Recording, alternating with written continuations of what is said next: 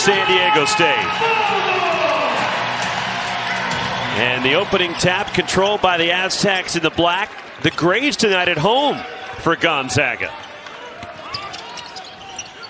Zach, but San Diego State going over to Seattle. And stepping into a three.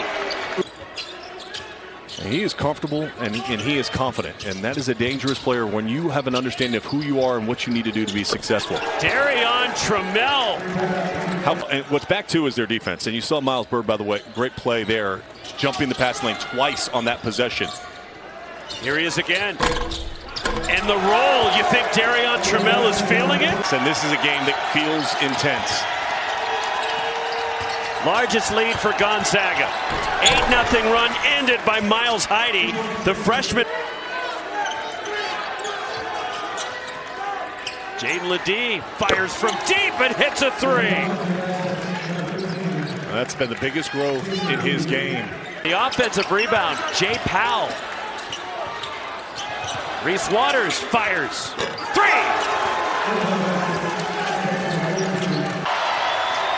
Five to shoot. Darrion Trammell. The hesitation, the floater. The follow by.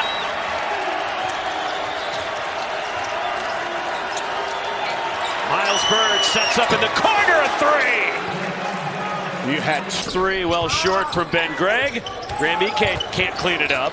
Jay Pal tips it free, the exclamation point.